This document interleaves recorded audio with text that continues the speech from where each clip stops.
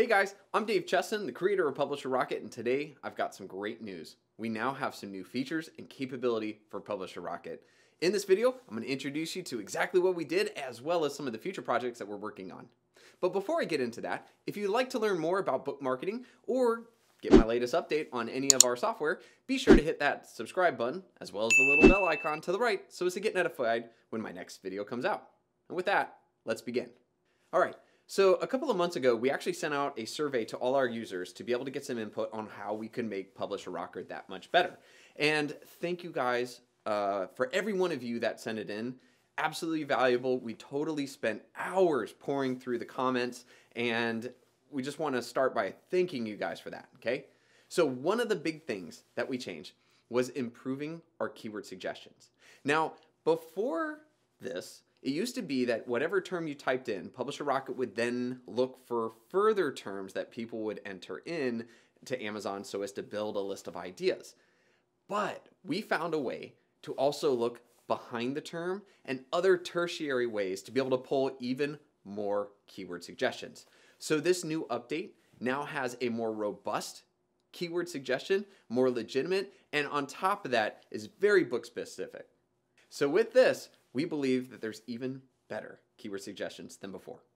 Number two, we improved the database system. Now, that might not sound like something beneficial to you right now, but right now we have a system that's going through and crawling Amazon and pulling more information and collecting it so that soon we can show you historical data. But on top of this, this has made our estimated Amazon searches per month that much more accurate. And I'm in the future, we're going to start showing this information in another way. So that'll come out in a new update. But for now, though, we're making Publisher Rocket more accurate and more powerful. Number three, color coded suggestions.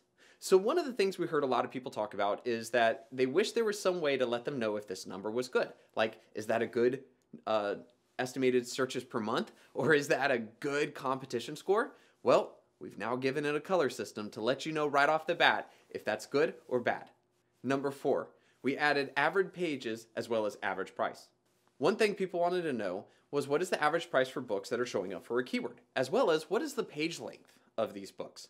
Through that information, you can have a better understanding of whether or not this is a good fit, or if this is your good good type of book for you, or if this is a, also an open market. I mean, let's face it, would you really want to tailor towards a market that the average price is like 67 cents, you know, because you have a whole bunch of free ones showing up? That's a no go. So by putting this information, it will help you to be able to get a little bit more understanding of what the market looks like when you're searching for your keywords. Number five, sorting of columns in the keyword feature.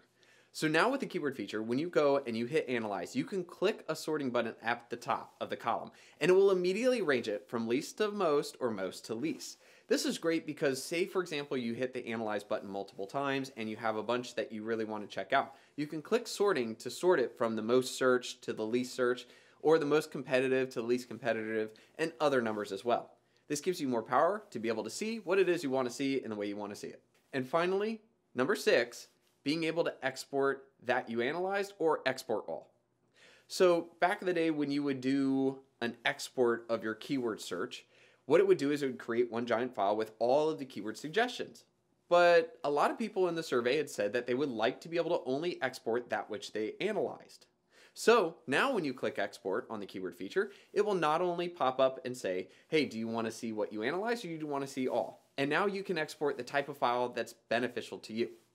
All right, guys, so there you have it. We have the six new features and updates that we did to the keyword feature itself.